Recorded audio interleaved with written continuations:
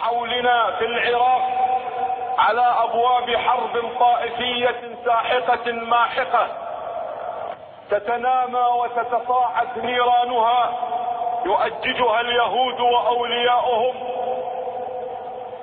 حتى يحولوا أرض العراق اكبر معترك لما يسمونه زورا وبهتانا بالإرهاب. يهيئونها لتكون معتركا دوليا عالميا لما يسمونه بالإرهاب. يريدون أن يفتحوا الحدود على وجبات وفترات تستوعب المجاهدين في الأرض. من أمة محمد ثم يغلقون الحدود ليحرقوهم في محارق بشرية فيصرف الناس عن الجهاد في القدس والأقصى ليتمكن يهود من تأمين دولتهم والتقاط أنفاسهم بعد أن دوختهم الانتفاضة إلى هذه الساعة.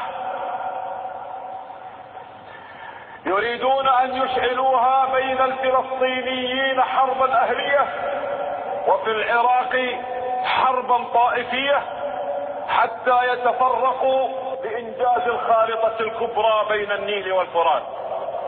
ابارزة الحرب من اليهود يفعلون هذا. ومن هنا من منبر الدفاع عن الأقصى أنادي أهل العراق واهل وأهل فلسطين لا تقعوا بالفخ الموسادي الصهيوني.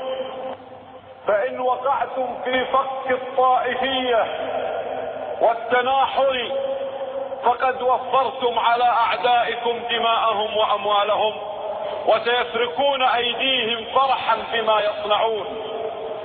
ستقومون أنتم بتنفيذ خارطة إسرائيل الكبرى من النيل إلى الفرات بدمائكم وأرواحكم وأموالكم وأمنكم.